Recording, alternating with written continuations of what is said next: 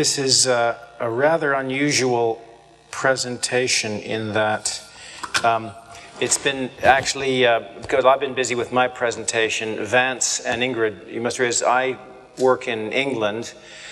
One, one of my colleagues, Vance, works in Indiana in the United States, and Ingrid is down in KwaZulu-Natal in South Africa. So it's um, rather difficult to get together for meetings and prepare things. And while I've been preparing my talk, they've been preparing this talk. Um, I just received the finished slides for it uh, 23 minutes ago. Um, and I've just printed out the talk about two minutes ago. So, um, basically, uh, I think Peter gave, us, gave you a, a wonderful introduction. Um, the original motivation was to try and use video to uh, deal with the teacher shortage in South Africa. Uh, we've had some success. We've had lots of frustration as well, but I will give you a little more about that. Um, we won the um, coffee concept in 2011 at Dublin. Um, and the idea, as I said, was to use audiovisual content to improve education. Um, a few things, oh, this is going to give me feedback again, isn't it? I'll try and talk a little more quietly. Um, KwaZulu-Natal is the most remote part of South Africa. Uh, the effect of AIDS in South Africa is uh, pretty um, hard to comprehend, I think, in this day and age. The, the simplest statistic, which we've used before, you may have heard us say this or not, but basically teachers in South Africa are dying of AIDS faster than they can be trained, to give you some sense of how bad the situation is.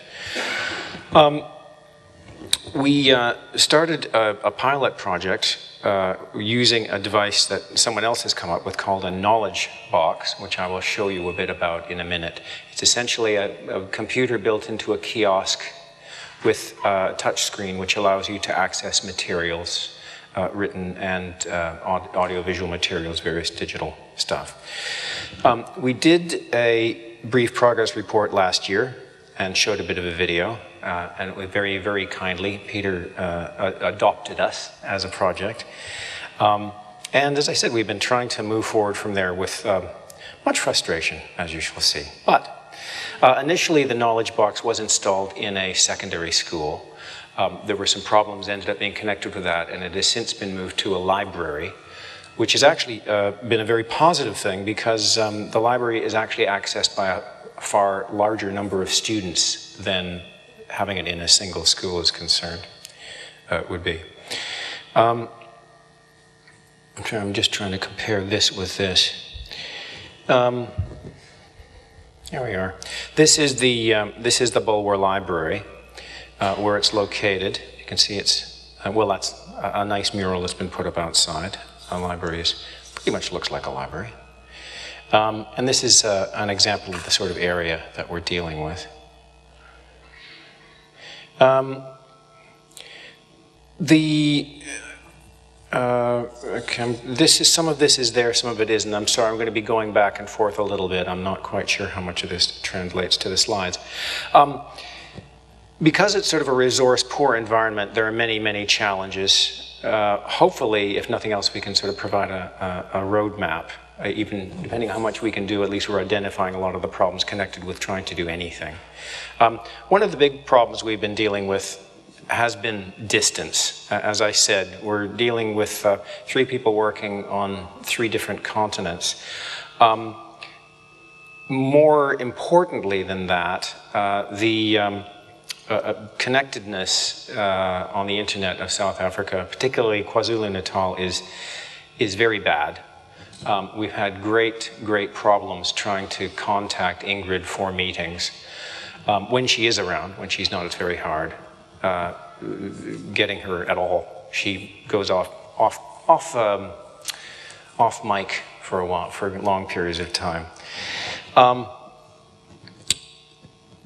the uh, okay, here we are. This is a, a moving on to a demo of the knowledge box. I'm not sure why the image is uh, squished like that, but the box on the left is the knowledge box. As you can see, it's just a fairly straightforward kiosk with a touch screen, various rows of buttons. Um, there is a little video which I think will work, which will give you a sense of how you would use it. You put it in there. You can take it home. Yeah. So everything's there, all the episodes. I find it so difficult. So you'll know, you say, oh, I'm All just the phone. times. So you let it just in and then see you've got one you go back. Okay. Okay. I know all the And then just block us all full. the- And then I then go go to to oh, Then you take it out. I never figure. heard it. Give you, give you a sense of how the, how the box works anyway. Um, the, uh, okay. Yeah. All right. As I said, the connectedness is a, is a big problem. Um, it also uh, ties in with the whole fact that we wanted to do some work in this area to try and see about getting resources out to the schools. Um, the, um, uh, we did do a survey of users of the Knowledge Box, box, started by asking about their cell phone usage, internet and computer usage, and left some open answers for ways to improve the project. We got responses from school learners and from university students, but the answers to the questionnaires were frequently not terribly relevant to what we were trying to find out. It, and we think, this, is going to sound silly, but we think it might have had to do with the fact that the, the questionnaires were initially written in English. And although English is widely spoken, we think people may have been more comfortable with responding if it had been translated into, is it, actually you could help me Stephen, is it isiZulu? Isis Zulu? isiZulu, Isis Zulu. Um, in our study, though, we did find that about half the respondents had some sort of a mobile device that can access the internet, usually used for social media. Particularly, there's a, a chat service in South Africa called MXit, I believe. That sound right? MXit, which has very low cost message uh, messaging. Um, we found, perhaps most importantly, that in order to have something like this work, we need to have some sort of a champion on site. It's not sufficient to simply leave the box there and hope that wonderful things will happen. Um, we did find one of these uh, at the library. Um, unfortunately, that person left uh, for monetary reasons. We suddenly didn't have a champion anymore. Um, the um, where are we here? Sorry about this again. Um, we basically found we're still in that situation. We need someone who can sort of manage the box locally. Um, what researchers think is important, I'm not really quite sure what that sentence means. I'm sorry about this. Um, this is a little different from what it says here. Um, The, um, we do feel we need people in, the, in this space. Um, actually, we were talking earlier, uh, uh, talking to someone recently about Sugata Mitra's uh, work in India with the hole in the wall stuff. Um, it's an interesting kind of comparison, actually, because I think he was able to simply leave his box in a village in India, and some pretty amazing things happened with it. Um, we haven't found the same thing with this. It may be that this isn't complete internet access because it's dealing with a fixed set of resources, which perhaps somehow makes it less, um, less attractive, possibly. Um, we, uh, it's very easy, one mistake we're aware that, that we uh, have done is that it, I think it's easy for us to sort of see what we think is necessary, what is needed, what resources are useful. And we thought along these lines. We did an analysis of the South African curriculum and tried to find videos that worked with it and linked to them, and that all made logical sense to us. Uh, but in fact, what we found is, despite all of that, the biggest demand that there's been was actually for tests.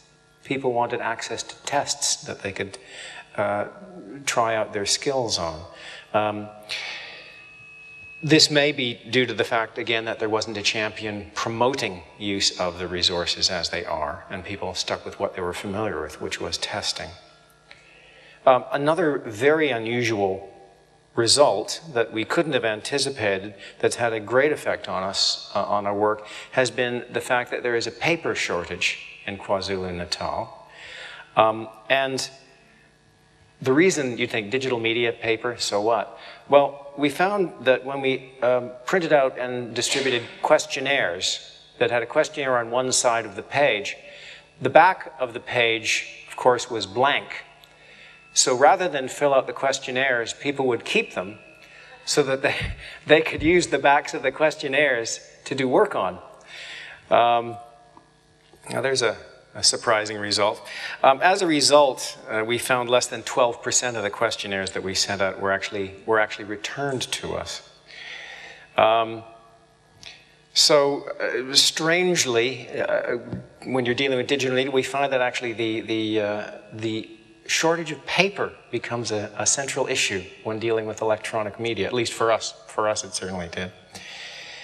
Um, the, um, where are we?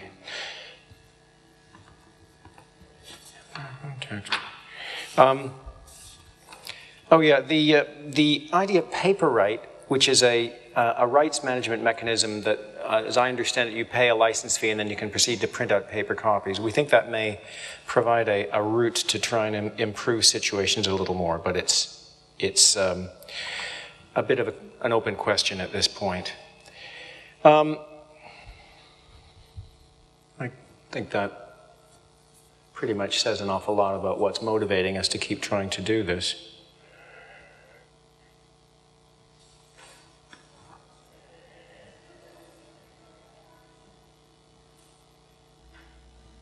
Just some shots. This is very close to the library, I believe. Interestingly, for all of the difficulty in getting resources and dealing with the internet, if you wanted to see the library, it's, it's on Google Street View. Um, very strange bit of, bit of confusion there. Uh, don't ask me why. Um, we do want to keep moving forward with this project. Uh, it's been quite frustrating at times doing things, but we do feel like it's worthwhile attempting to pursue it. If for no other reason than um, where we um, fall into potholes, we can possibly leave signs behind us for the next people that, that try to do this. Um, I think another problem that's faced us all is that we're all doing this on our own time. None of us have institutional support. In the case of Ingrid, it's a bit of a gray area. She sort of manages to make it work within her job, but I think it's on an informal basis. And certainly for Vance and me, it's just something something we do in our, in our spare time, such as it is. Um, but we do feel that it's worthwhile. We'd love to have been able to uh, report more at this point, but at least you get a sense of, uh, of some things that are happening with it. Um, I'm not going to read this out. You guys can read.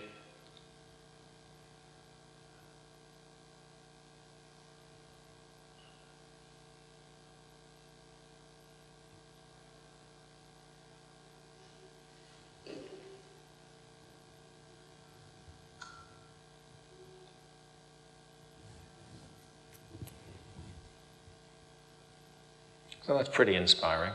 I feel inspired by it. I hope you do too. Uh, I'm sorry, what does PMB stand for? PMB? I'm not sure. Do you know? Peter Maritzburg. Pietermaritzburg. Yeah, it's the, probably the second largest pharmaceutical within the top. Okay. Okay, thank you. Thanks, Stephen. All right. Um, I think that's uh, pretty much all I can say about it at this point. I'd be happy to attempt to answer questions you have uh, about the project. Okay. Well, uh, chairing gives me the advantage that I can uh, do the first question. Yeah. Um, how will you go on after this? Um,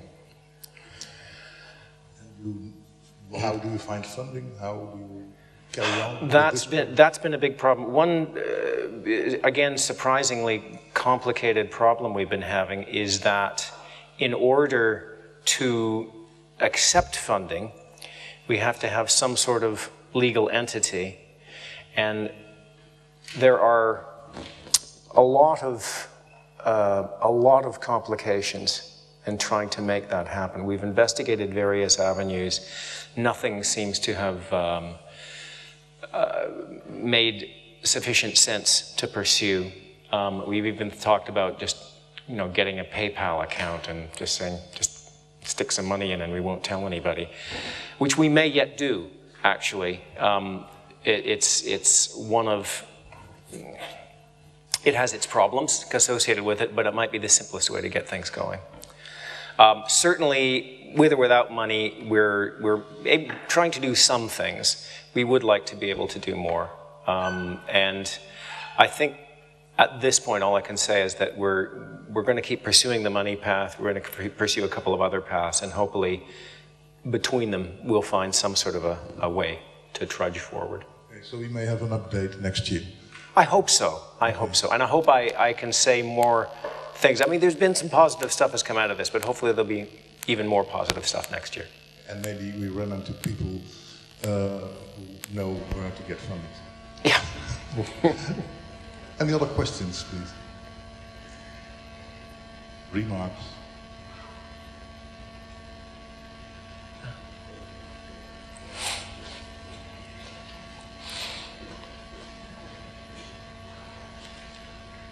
Hi, thanks. Um, I was wondering if you could say more about the content of the videos and how the teachers responded to that. And I'm reminded of a Microsoft research project that was looking at peer-to-peer video distribution where they got sort of teachers to video themselves and then the concept was that people learned more from teachers that were a little bit better than they were rather than vastly better very different context. I just wondered how that played out. We don't, we, we haven't got as far as having teachers making videos. We've been trying to keep it as low tech and simple as possible, and what we've been doing is looking at existing video resources that we can find. Um, I mean, Khan Academy is an example. Um, Vance has access to some video materials through the School of Education at University of Illinois that he's been looking at incorporating. Um, there's a whole other issue about creating content, which we just felt was, was too much for us to deal with at this point. And we're purely trying to look at the, shall we say, the distribution issues at this point. Any other questions? Okay, thank you, Steve. right. And, Okay. uh, Thank you. I'll get this out of your way.